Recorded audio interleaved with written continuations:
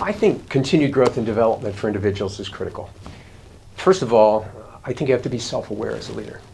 First of all, I believe you have to be a better me before you can be a better we. So what are we all doing? One of my core principles is being a lifelong learner. Learning never stops. If you're interested and curious um, and, and energetic in that pursuit, I think you can continue to learn and grow and develop.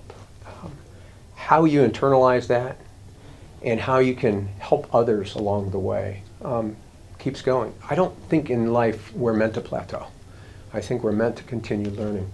Um, I think the challenge um, is energizing.